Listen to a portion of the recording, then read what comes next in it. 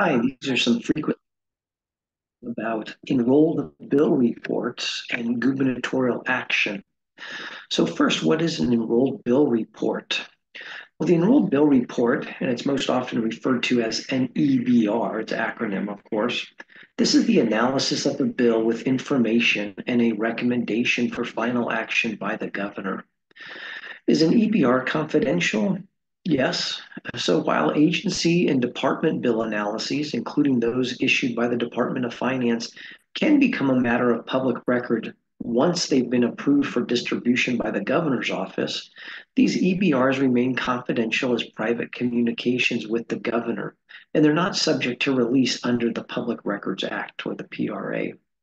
So when is an EBR actually produced? Once an enrolled bill reaches the governor's desk for final action, these EBRs are produced for the governor and his or her senior staff to consider the merits of the bill pending on the governor's desk.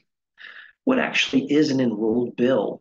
Well, basically, an enrolled bill is the final version of the bill that's passed both houses of the legislature and is pending action by the governor.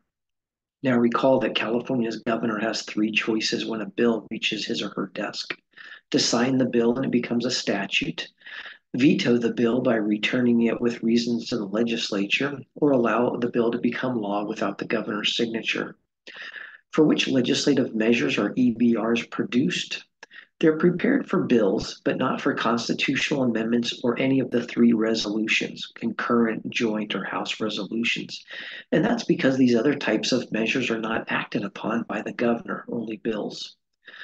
Who produces an EBR?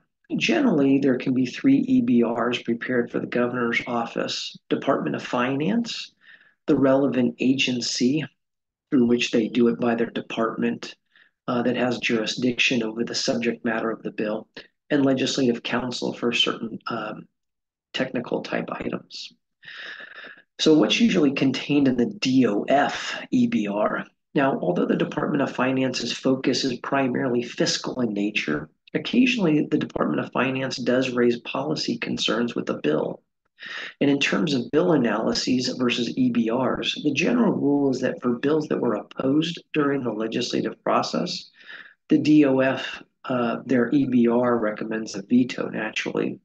On the other hand, if DOF supported a bill during the legislative process, then its recommendation on the EBR is usually to sign. Now, note that DOF can take a neutral position on a bill and simply not recommend either a signature or a veto. What's usually contained in a state agency EBR?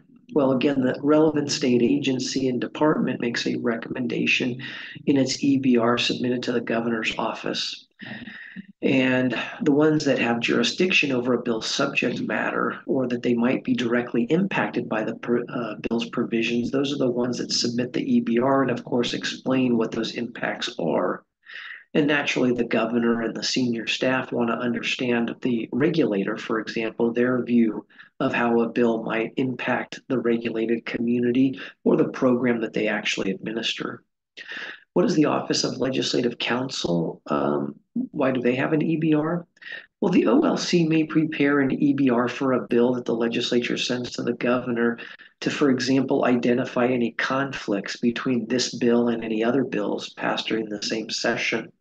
And this is to ensure that later enacted bills don't chapter out early enacted bills. So, for example, the Legislative Counsel EBR may recommend the order in which the governor signs the bills affecting the same code sections, for example. So, basically, the Leg Counsel EBR addresses the technical aspects of the bill for the benefit of the governor and the governor's senior staff.